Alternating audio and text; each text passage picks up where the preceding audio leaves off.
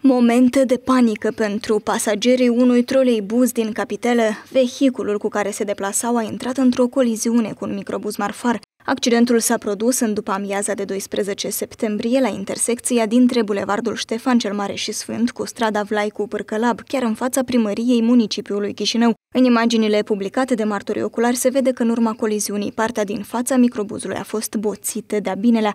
Totuși, din fericire, persoane traumatizate nu au fost înregistrate. Potrivit datelor oferite de către ofițerul de presă de la Poliția Capitalei, Svetlana Scripnic, poliția nu s-a deplasat la fața locului întrecât șoferul care a provocat coliziunea și-ar fi recunoscut vina. Prin urmare, conducătorii au căzut de acord să meargă singuri la secția documentare accidente rutiere și să înregistreze cazul. Oamenii legii urmează să stabilească toate detaliile accidentului, iar cel vinovat va fi sancționat cu amendă de până la 1500 de lei și 6 puncte de penalizare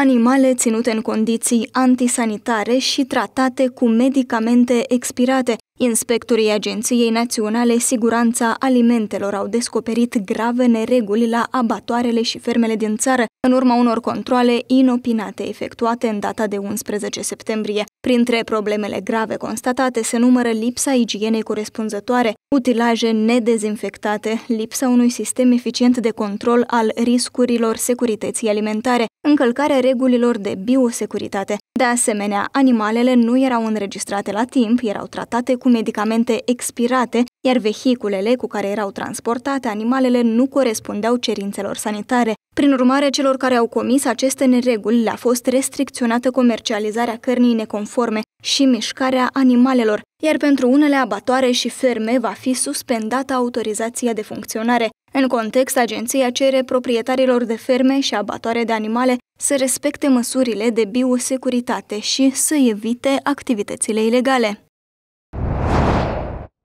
Peste 2500 de pachete cu țigări au fost descoperite de polițiștii români de frontieră în spătarele banchetelor din mai multe cușete ale unui vagon a trenului Chișinău-Iași-București. Descoperirea a fost făcută în punctul de trecere a frontierei Iași-Feroviar. Potrivit oamenilor legii de peste Prut, cele peste 50.000 de țigări cu timbrul de acciz al Republicii Moldova ar aparține unui bărbat de 52 de ani, însoțitorul vagonului, care are dublă cetățenie română și moldovenească. Acesta ar fi intenționat să le introducă ilegal pe teritoriul României pentru comercializarea ulterioară pe piața neagră. Potrivit calculelor poliției de frontieră, valoarea mărfii se ridică la peste 146.000 de lei moldovenești. Lotul de țigări a fost confiscat, iar oamenii legii din țara vecină au deschis o anchetă pentru contrabandă.